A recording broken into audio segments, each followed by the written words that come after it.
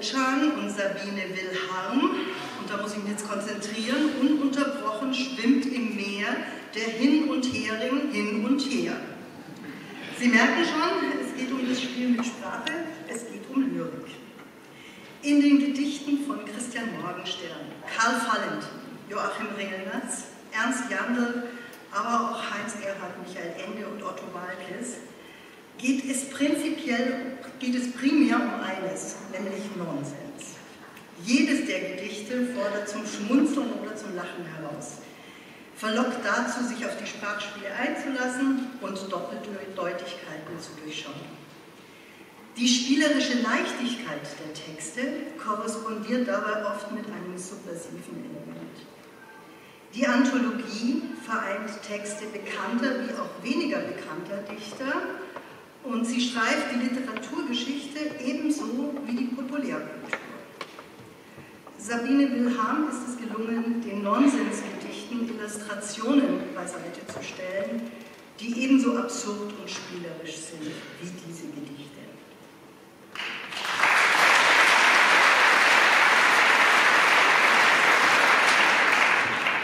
Frieda Nilsson, Anke Kuhl, Frohe Weihnachten übersetzt von Friederike Buchinger.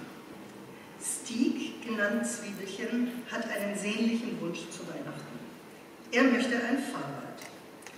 Doch diesen Wunsch wird er vermutlich genauso wenig erfüllt bekommen wie den, endlich seinen Vater kennenzulernen. Denn seine Mutter kann sich ein solches Geschenk nicht leisten und sie weiß auch gar nicht, wo sie Steaks Vater finden könnte. Doch Stieg lässt sich nicht entmutigen. Um seinem Fahrrad und auch seinem Vater näher zu kommen, braucht es nur ein bisschen Mut und Kreativität. Und davon erzählt die Autorin in dieser warmherzigen, humorvollen Geschichte um einen eigensinnigen Jungen.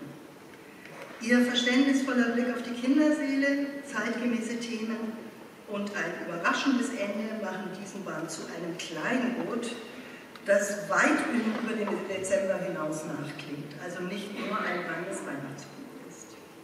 Selten wurde so wunderbar ehrlich über moderne Familienkonstellationen geschrieben, ohne dabei moralisch zu werden.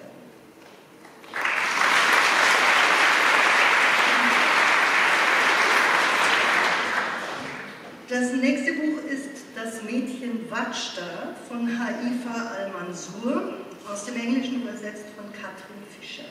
Frischer. Das Mädchen Watschda ist das erste Kinderbuch der saudi-arabischen Autorin und es stellt eine Adaption ihres gleichnamigen Spielfilms dar. Die elfjährige Watschda ist eine Art arabischer Trotzkopf. Sie macht sich ihre eigenen Gedanken über das Leben in Riyadh im Allgemeinen und das von Mädchen im Besonderen. Warum darf sie nicht so, wie ihr bester Freund Abdullah Fahrrad fahren? Nichts wünscht sie sehnlicher als das grüne Fahrrad im Laden um die Ecke. Doch für Mädchen gehört sich das in ihrem Land nicht. Das grüne Fahrrad wird zum Symbol für Rebellion, Freiheit und Gleichberechtigung.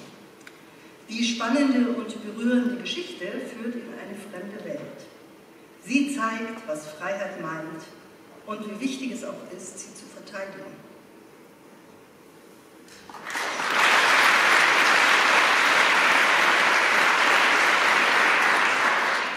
Stefanie Höfler, Franziska Walter, Mein Sommer mit Wuchs. Aus der Perspektive der zwölfjährigen Sonja wird eine Sommerferiengeschichte erzählt, die wirklich unter die Haut geht. Als die beiden Teenager Sonja und Mux sich im Schwimmbad treffen, beginnt eine wunderbare Freundschaft zwischen zwei Außenseitern. Sie vertreiben sich die Zeit mit Scrabble, mit Pfannkuchen essen, in den Himmel schauen, reden und auch schweigen. Doch je näher Sonja Mux kennenlernt, desto mehr wird ihr deutlich, dass der Junge ein dunkles Geheimnis mit sich trägt. Dank Sonjas hellsichtiger und couragierter Mutter kann Schlimmeres verhindert werden.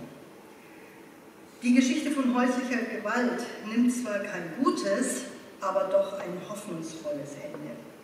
Stefanie Höfler gelingt es in ihrem ein schweres Thema in eine Freundschaftsgeschichte einzubetten, die mit Leichtigkeit und Witz von einer durchaus selbstironischen Protagonistin erzählt.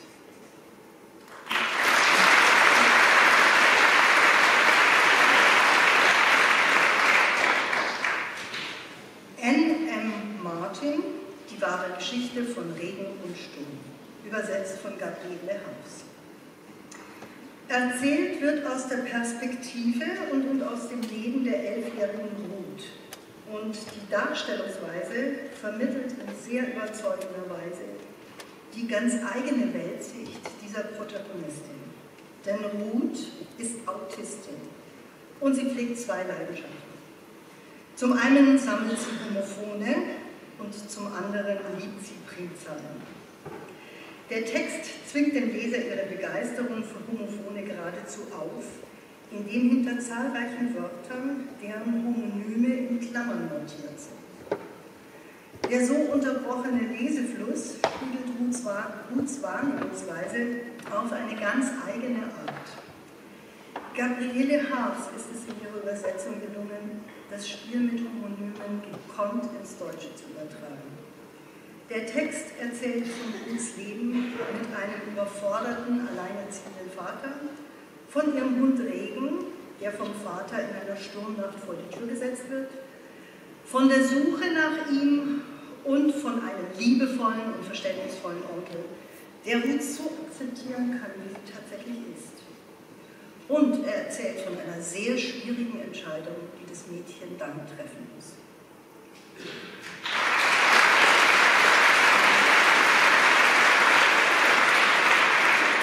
Und noch ein Kinderbuch, Ross Montgomery, Alex, Martha und die Reise ins verbotene Land, übersetzt von André Lumont. Alex ist der typische Außenseiter. Bestenfalls nicht beachtet, schlimmstenfalls gemobbt. Sein Leben wäre auch ohne seinen berühmten Vater, einen Entdecker, eine Qual. Doch sein Vater ist plötzlich verschwunden.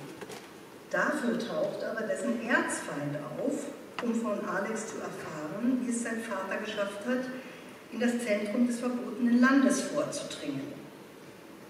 Alle, die dies bisher versucht hatten, sind von einer magischen Grenze zurückgestoßen worden. Das Erstlingswerk bietet nicht nur klassische Motive fantastischer Literatur, also den Außenseiter als Held, die Reise in eine fremde Welt und den bösen Gegenspieler. Es geht auch um tiefsinnige philosophische Fragen. Wer bin ich? Wie weit darf Wissenschaft gehen? Der Einfallsreichtum des Autors Interessante Perspektivwechsel und vor allem der pointierte britische Humor zeichnen dieses Debüt aus. Mit seiner poetischen Sprache, die André Memon treffend übersetzt hat, weist es über die Grenzen fantastischer Literatur.